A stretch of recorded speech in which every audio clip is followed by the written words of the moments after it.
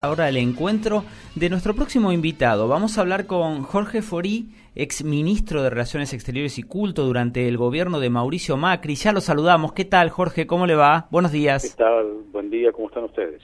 Muy bien, muy bien. Vamos a ir hablando luego de, bueno, de, comercio internacional, de diplomacia y demás, que, que sabemos que, que es su expertise, pero no podemos dejar de preguntarle una opinión sobre lo que se conoció hace apenas dos días del acuerdo con el Fondo Monetario Internacional. ¿Qué, le parece? Bueno, a ver, eh, es importante que Argentina haya salido de esta especie de confusísimo impas de que había negociación, que no había negociación, que iba a haber arreglo, que iba a haber arreglo, que no se sabía realmente qué era lo que estábamos haciendo. El acuerdo alcanzado es una versión corta, llamemos así, de algunos de los entendimientos que se suelen alcanzar en el ámbito del Fondo Monetario. Básicamente se ha fijado una meta de déficit en un plazo eh, relativamente corto, con además eh, compromisos en materia de gasto para las cuestiones de déficit, supresión de eh, subsidios energéticos y otros, o sea que en el número de tarifas va a haber un ajuste que va a ser muy muy claro, muy sentido.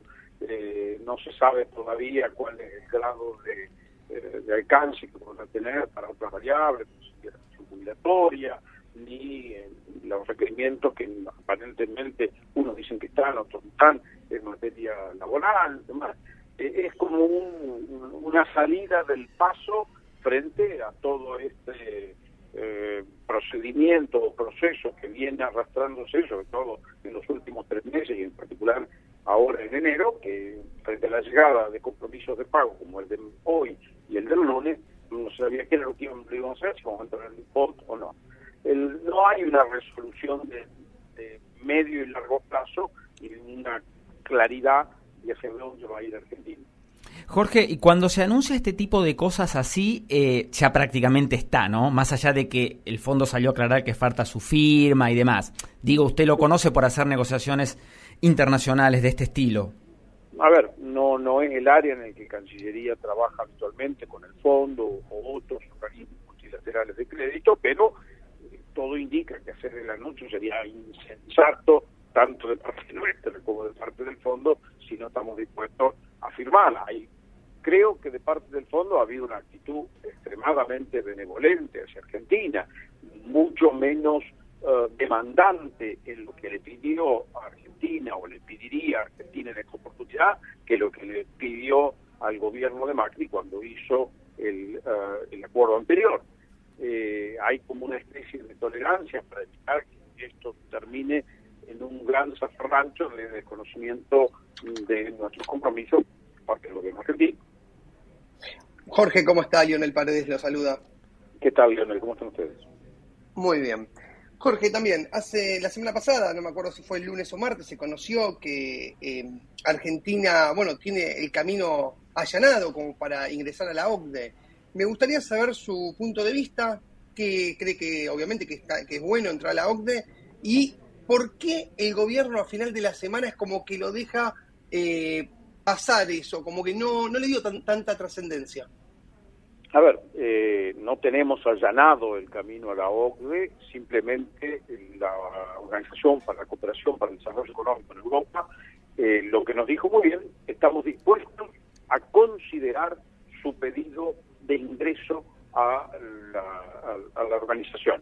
Eh, es importante hacer presente que este pedido lo hizo el gobierno de Macri, se hizo en el 2016, inclusive se dio la casualidad que yo todavía en ese momento era el embajador en Francia y me tocó presentar la nota ante la organización diciendo, mira, Argentina está interesada en poder ser parte de este, este marco, eh, así, multilateral.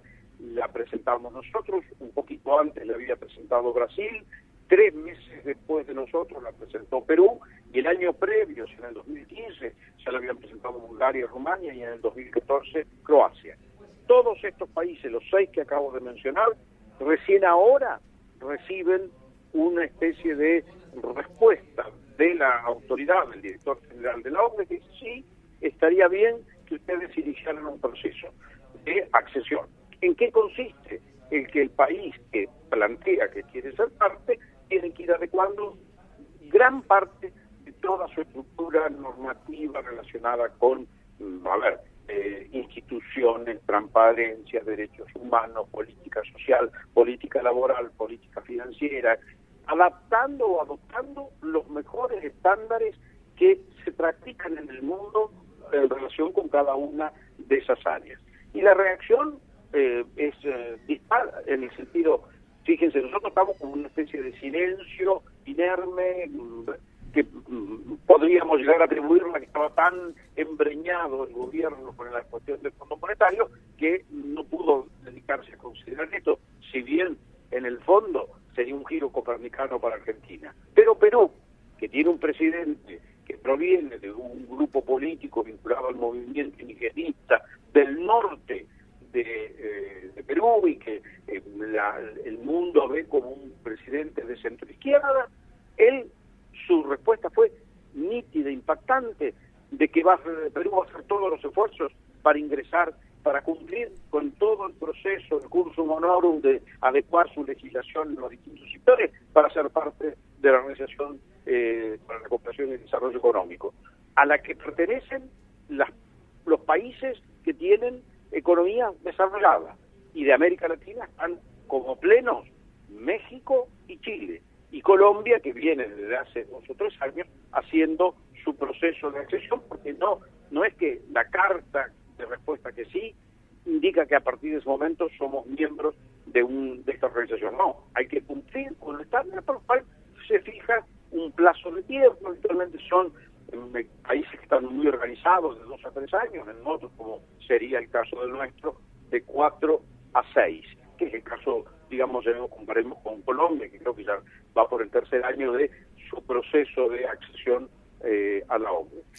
Significaría para Argentina que al, al validarse los estándares en todos los sectores que podríamos llegar a tener que hacerlo, que estaríamos, mm, digamos, en buenas condiciones para recibir créditos de instituciones multilaterales, entidades financieras, créditos a empresas, para recibir financiamiento directo. ¿Por qué? Porque el país cumple con la justicia, cumple con la transparencia, cumple con una meta de déficit, cumple con una meta de manejo de moneda, todo lo que hacen los países serios y todo lo que nosotros no hacemos. Por eso em, veo difícil que a lo mejor el gobierno quiera entrar en en este proceso. Eh, lo que caracteriza a la actual gestión es la discrecionalidad arbitraria y desordenada que no se sabe, un día vamos para un lado, un día vamos para otro, o sea, podemos hacer como nosotros, como el gobierno de turno está entendiendo. Y esto es malo, muy malo, entonces por eso las empresas dicen, no, yo no voy a poner un, peso más en Argentina porque no se sabe qué es lo que van a hacer. No nos prestan nadie plata, estamos fuera del mercado financiero mundial, estamos absolutamente sobredimensionados en nuestro gasto, imprimimos, imprimimos, y al imprimir generamos una masa monetaria que termina repartiéndose por la producción y aumentan los precios, los precios, los precios. ¿Por qué? Porque hay una cantidad de billetes circulando y una producción que no acompaña esa emisión monetaria. Entonces, esto es lo que el fondo ahora trató de más o menos en este, llamemos así, de, de corto plazo, tratar de ordenar algo, porque esto es un caos ya. Bien, esperemos que así sea. Dejamos para otro momento los acercamientos con China, con Rusia, que nos gustaría preguntarle, Jorge, pero sabemos que, bueno, se nos termina el tiempo y usted también tiene un compromiso. Muchísimas gracias por esta conversación. Al contrario, saludos para ustedes. Un, abrazo grande. Fue Jorge Fori, ex ministro de Relaciones Exteriores y Culto.